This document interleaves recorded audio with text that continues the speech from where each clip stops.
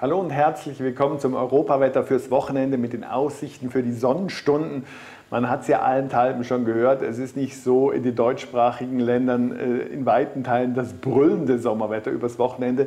Und es gibt ein paar Möglichkeiten, so in der Nähe sich nicht weit wegzubewegen und dann hat man dann doch schon deutlich mehr Sonnenscheindauer.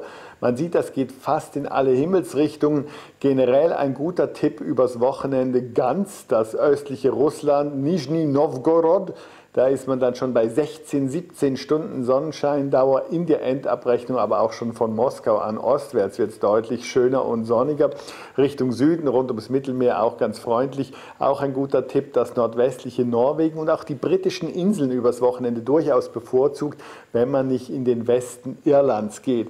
Da sieht man auch, wenn man mal einen Tag weitergeht Richtung Sonntag, die Sonnenstunden auch hier weiterhin mit der Ausnahme im nördlichen Spanien, kantabrisches Gebirge, Baskenland, da zieht es dann doch auch zu, aber sonst rund ums Mittelmeer einigermaßen viel Sonnenschein. Auch Italien, wenn man weiter runterfährt und eben wie schon erwähnt auch Teile Skandinaviens und der britischen Inseln durchaus mit einer angemessenen Sonnenscheindauer. Wenn Sie für Ihren Urlaubsort im Detail gucken wollen, wetter.info ist eine gute Möglichkeit, unwetterzentrale.de für alle Warnungen, auch für viele Urlaubsländer, der Twitter-Account oder eben auch der WordPress-Account wetterkachelmann.wordpress.com. Schönes Wochenende.